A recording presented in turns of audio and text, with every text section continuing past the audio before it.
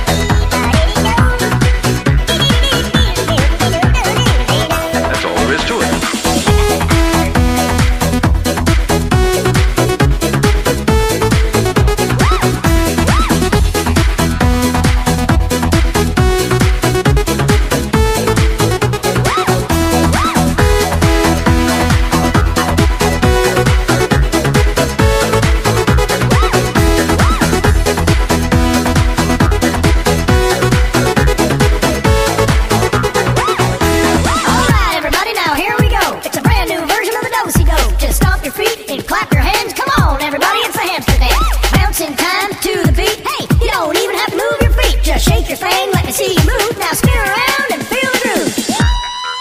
Let's try it.